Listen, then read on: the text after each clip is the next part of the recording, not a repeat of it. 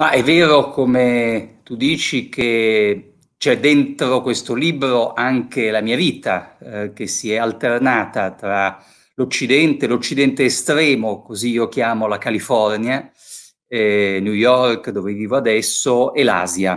Ho vissuto cinque anni in Cina, ho passato dei periodi lunghi in India, in Giappone, in Vietnam e tutto questo però si aggiunge a un investimento che ho fatto nelle letture, perché qui mi occupo molto di storia, di storia antica, anche di storia antichissima. Eh, il libro si apre eh, con una citazione da una studiosa molto autorevole che è la capo bibliotecaria eh, di Londra, della, della più grande biblioteca pubblica di Londra, che ci ricorda che la civiltà cinese ha almeno 3.000 anni di storia nella continuità, cioè una storia all'interno di uno stesso sistema di, eh, di, riferimento culturale, cosa che non possiamo dire eh, di nessuna cultura occidentale. Quindi eh, mi sono documentato, ho passato anni a divorare biblioteche. Questo è un libro che è fatto di vita vissuta, di luoghi della mia esperienza ma anche eh, di tante tante letture di, di, studiosi, infatti alla fine c'è anche una, una, bibliografia commentata in cui spiego tutte le mie fonti. Sì, la pandemia è, è un test, è come una guerra mondiale, sono quelle prove che accadono una volta ogni secolo, una volta ogni tre, quattro generazioni. E oltre all'impatto della tragedia in sé, che porta via tante vite umane, che impoverisce, eh, c'è poi una sorta di ehm, test sulla solidità delle collettività umane che vengono sottoposte a questo stress inaudito. Cioè, come, proprio come da una guerra si esce da una pandemia con dei vincitori e dei perdenti e non per volere sempre interpretare tutto con l'ottica della geopolitica, però non c'è dubbio che ci sono delle civiltà che sono addirittura scomparse. Io nel libro inserisco anche un po' di storia antica delle pandemie, quasi tutte tra l'altro venute dall'Oriente, non per altro, ma perché là c'è una tale concentrazione di popolazione umana e animale che è il laboratorio ideale per le pandemie eh, tra la Cina e l'India, molto più che in altre parti del mondo. Ci sono delle civiltà che sono state distrutte, il genocidio degli indiani d'America avviene non tanto per via militare ma per via batteriologica e si, autorevoli storici sostengono per esempio che la fine dell'impero romano è stata accelerata dalla famosa peste antonina quindi c'è nella storia, c'è una continuità, le pandemie, spesso originate a Oriente, sono dei test di civiltà e quindi noi già siamo portati in questo momento a osservare quello che sta accadendo per vedere chi risponde meglio. E qui una, uno dei, dei, temi che eh, è, è, un filo conduttore del mio libro, che è un libro di storia su 2000 e oltre anni di rapporto tra Oriente e Occidente, è che dobbiamo sempre ricordarci che l'Oriente è plurale, non c'è un Oriente. Nella nostra storia ci siamo confrontati con la Persia, quando la Persia era l'Oriente, poi l'India, la Cina, il Giappone. Ecco, oggi anche quando osserviamo la capacità di interi stati-nazione, comunità collettive di uscire da questa pandemia meno stremati, meno indeboliti, eh, dobbiamo guardare con attenzione alle differenze. La Cina non è il Giappone, non è la Corea del Sud. C'è un, c'è un modello autoritario cinese, ma ci sono anche delle democrazie in Estremo Oriente che sanno in questo momento reagire alla pandemia in modo più efficace rispetto ai paesi occidentali. Sì, questo è, da, è, davvero uno dei temi centrali del mio libro, anche se non è un libro che si occupa solo di, di storia politica o di storia economica, eh. c'è, c'è, anche tanto la storia della cultura, dell'arte, perché negli, negli scambi tra Oriente e Occidente c'entrano molto anche eh, la, la, la, produzione artistica, la produzione di immagini e di valori. Comunque, ehm, un personaggio che percorre il libro in modo importante Confucio. Quindi stiamo parlando di uno dei, dei pensatori che hanno segnato la storia della Cina, ma anche di altre civiltà vicine, perché c'è tanto confucianesimo nella tradizione del Giappone e della Corea. Vietnam e Singapore anche, li metterei nell'area confuciana. Allora, eh, Confucio per, per eh, sintetizzare, è un grande scienziato della politica, è l'equivalente di un Machiavelli, ma con un'influenza molto superiore, viste le dimensioni dell'area e delle popolazioni che continuano a tramandarsi il suo pensiero. E tradotto nel linguaggio di oggi, certamente noi abbiamo in Confucio un pensatore della comunità, eh, rispetto, ecco qui abbiamo una delle differenze di fondo tra noi e loro, tra Oriente e Occidente, è che eh, loro sono abituati a pensare in termini di doveri dell'individuo nei confronti della collettività, prima ancora che di diritti.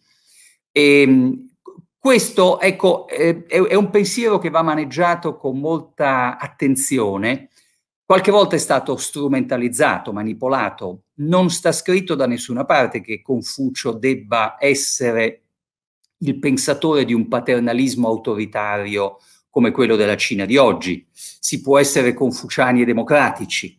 Confucio teorizzava anche il diritto a deporre un sovrano ingiusto, a cacciare via un imperatore incapace. Queste sono cose molto interessanti. E quindi voglio ricordare, perché il mio libro è anche uno sforzo di andare in profondità nella storia ed evitare le scorciatoie e le semplificazioni. Um, ricordiamoci che noi occidentali a volte ci siamo costruiti un'immagine dell'Oriente che era una, una forzatura, lo abbiamo fatto a scopi ideologici, con, a partire da Alessandro Magno, molto, ma anche, anche, prima, anche con le guerre persiane, Erodoto comincia ad affiorare tra noi all'epoca greci, e, e la Grecia è, è, è una delle culle del pensiero occidentale, l'idea che dall'altra parte, in Asia, ci sono delle masse sterminate, anonime, abituate a obbedire ciecamente a un sovrano, eh, un imperatore con poteri illimitati. È l'idea del dispotismo orientale che si riaffaccerà in altri pensatori molto, molto più moderni, molto importanti, influenti come Marx. Marx parla di dispotismo orientale. Abbiamo sempre avuto tendenza a pensare che l'Asia eh, era il luogo dei, dei, grandi imperi, mentre noi siamo il luogo delle piccole città-stato, quindi già i, in embrione delle democrazie. Attenzione però perché in questa narrazione un po' troppo semplificata, un po' superficiale, ci sono delle eccezioni importantissime. Io ricordo ad esempio che tutta Uh, tutto il mondo dell'illuminismo francese, Voltaire, Montesquieu, ammiravano la Cina come un sistema politico molto più moderno di quelli europei del loro tempo. Vedevano negli esami di selezione della, dei mandarini, dell'alta burocrazia dell'impero celeste, un sistema meritocratico, trasparente, molto migliore, molto più efficiente rispetto al modo in cui l'ancien régime in Francia e in altri paesi europei selezionava la sua classe dirigente.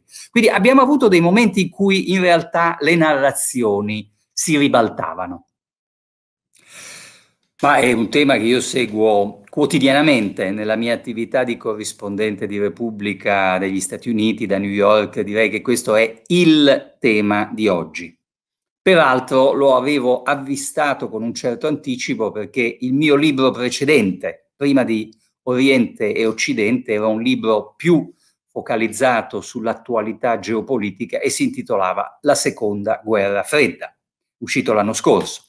Ehm, questa seconda guerra fredda va ben al di là della guerra dei dazi, cioè ridurre tutto al protezionismo di Donald Trump è, è, mh, significa sottovalutare la portata storica di quello che sta accadendo. Qui siamo di fronte a una di quelle grandi svolte della storia in cui c'è una superpotenza in declino che si sente minacciata e c'è una superpotenza in ascesa che ha eh, delle aspirazioni egemoniche.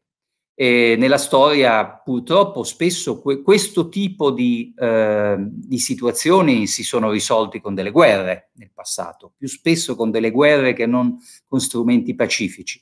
Ma io, eh, visto che adesso parliamo di Oriente e Occidente, quindi un libro di storia nel lungo periodo in cui io vi, vi porto con me a esplorare almeno duemila anni, an- anche un po' di più, eh, diciamo due, due, millenni e mezzo, eh, allora in quest'ottica bisogna ricordare che l'Asia è stata quasi sempre il centro del mondo. Per grandissima parte della storia umana le civiltà più avanzate economicamente, tecnologicamente, scientificamente erano la Cina o l'India, o tutte e due. E noi ci siamo illusi di essere il centro del mondo solo perché negli ultimi cinque secoli eh, abbiamo avuto una lunghezza di vantaggio. Però adesso è chiaro che il, il, il pendolo della storia sta oscillando nell'altra direzione, sta ritornando là dove la storia umana ha quasi sempre avuto il suo centro, che è dove tra l'altro abita la maggior parte degli abitanti della Terra, perché comunque Cindia e dintorni, e dintorni, non dimentichiamo che Cina e India ciascuna hanno un miliardo e 400 milioni di abitanti, in mezzo tra loro c'è uno spicchio di continente asiatico che chiamiamo il sud-est asiatico che fa la bellezza di 650 milioni di abitanti, cioè molto più dell'Unione Europea. E, ecco, poi c'è il Giappone, poi c'è, insomma, eh, quella parte del mondo sta ritornando a essere il centro ed è una ragione in più per cui è molto utile e interessante conoscere la loro storia. Ma eh, questi, questi, sono più i temi del, del, del, penultimo libro, quello sulla seconda guerra fredda. In, questo veramente mi, mi, immergo nelle profondità della storia, però in un certo senso anche Oriente e Occidente cerca delle risposte alla, a questa domanda perché eh, è, è, un libro dove io mi interrogo anche sull'idea di Occidente, cosa vuol dire essere occidentali? Un termine che, che nasce davvero con l'antica Grecia, inizialmente è un, è un termine geografico, eh, poi però si carica via via, progressivamente, di un senso ideologico, culturale, valoriale, religioso, le, le, religioni hanno un ruolo molto importante nei rapporti tra noi e loro. Accenno brevemente eh, a, a delle questioni che nel libro tratto in maniera molto più ampia. Eh, una è, è, questa, già eh, il cristianesimo in realtà arriva dentro il cuore dell'Europa come una scheggia di influenza orientale. Per, per i greco-romani il cristianesimo viene da Oriente, eh, Israele è in Asia Minore, e quindi ehm, è, è, molto interessante. Poi ehm, quando, quando, arrivo fino al capitolo finale sulle pandemie e saccheggio quel libro straordinario che è l'Apocalisse, perché l'Apocalisse è un, libro di una qualità artistica incredibile e, e di nuovo l'influenza orientale è fortissima in questo che è l'ultimo libro del, del Nuovo Testamento. Quindi eh, ricordiamoci che anche il cristianesimo agli esordi, alle origini, viene percepito come una religione venuta da Oriente. E, ehm, la, l'altro tema importante nel libro è l'Islam, perché per gran parte della nostra storia eh, il nostro rapporto con l'Oriente è stato mediato da civiltà islamiche, magari convertite, ma islamiche, la Persia, tutto il periodo in cui l'India era governata dagli imperatori Moghul, che erano dei mongoli convertiti all'Islam. Questo è molto importante, così come è importante poi capire perché l'Islam è stato percepito come una religione aggressiva e conquistatrice dalle altre civiltà asiatiche, l'India induista, la Cina buddista e confuciana, che non a caso oggi sono il il centro di uno scontro con l'Islam. Oggi se ci sono dei paesi che hanno degli atteggiamenti durissimi contro l'Islam sono l'India e la Cina, non l'Europa. Ma vengo alla, alla domanda sull'attualità, cioè che, che dove l'Europa deve scegliere di stare. Ma questo, di nuovo, è un tema che ci, ci accompagna dai tempi dell'antica Grecia, eh, di Alessandro Magno. Eh, L'Europa in realtà è una piccola periferia dell'Asia. Eh, geograficamente noi non esistiamo come un'entità autonoma. Non c'è un vero confine tra l'Europa e l'Asia.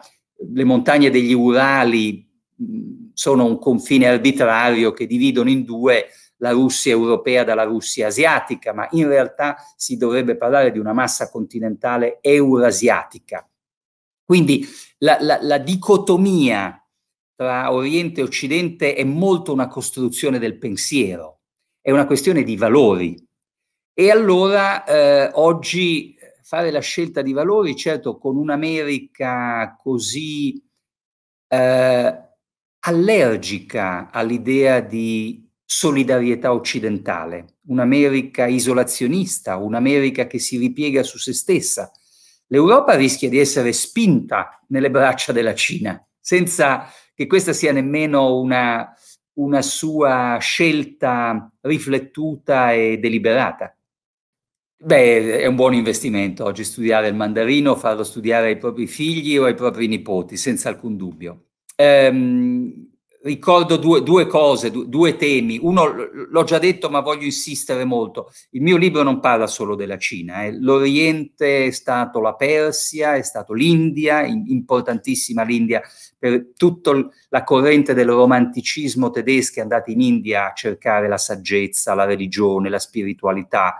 E, e l'India è importante anche oggi, anche se il premier indiano non è molto popolare in Occidente. E, e poi c'è il Giappone. Il Giappone è un paese molto importante che va riscoperto continuamente perché è, è un altro estremo oriente rispetto alla Cina. Ehm, detto questo, voglio anche ricordare che negli ultimi tre secoli sono stati loro a studiare noi e, e più di recente a studiare l'inglese. Eh, perché c'è stato un periodo della storia, breve ma importante, in cui l'Oriente ci ha considerati un modello. E uno dei capitoli del mio libro su Oriente e Occidente è proprio dedicato all'occidentalismo degli orientali, quando tutte le elite, tutte le classi dirigenti di quei paesi hanno deciso che dovevano copiarci, perché noi eravamo la modernità, e questa è una fase mo- molto importante, anche questa va, studiata bene per capire cos'è la Cina di oggi e prima ancora per capire cos'è il Giappone, e studiare quelle fasi in cui loro hanno deciso di succhiare tutto il meglio dall'Occidente e al tempo stesso eh, come hanno tentato di preservare delle tradizioni, qualche eh, caratteristica asiatica che intendevano salvare a tutti i costi anche in una fase di forte omologazione a una modernità occidentale. Beh, quello è, è, chiaramente è un onore per me e infatti sono stato molto lusingato quando l'editore Inaudi mi ha proposto di essere il primo di una nuova collana. Mi piace l'idea, il, il, il versus, che è un, un termine latino ma molto usato qui negli Stati Uniti. Eh, per esempio nel, nel, linguaggio giuridico americano le, le cause eh, vengono tra, tra, due soggetti che si trascinano l'un l'altro in tribunale, vengono definite con il, il versus in mezzo, abbreviato VS, eh, quindi lo, l'opposizione, il contrasto. E, ehm, e l'ho trovato una, una, una, bellissima sfida che proseguirà con altri titoli, altri autori e altri temi, quella di cimentarmi con questo versus, questa opposizione fondamentale che veramente ha segnato eh, oltre due millenni di storia umana, perché il, diciamo, questo, questa cifra, questo codice, no? que, questa chiave di lettura Oriente-Occidente ha eh, attraversato così tante dimensioni della nostra storia, della nostra vita, della nostra immagine, percezione di noi stessi. C'è un capitolo che dedico per esempio al tema della donna, del rapporto tra i sessi, della sensualità e dell'erotismo, come anche qui abbiamo inseguito un Oriente a volte immaginario e quante volte nella storia si sono scambiati i ruoli, il, il, il, eh, la collocazione della donna, il ruolo della donna è, è, è, una delle questioni che si affacciano continuamente nel rapporto tra Oriente e Occidente.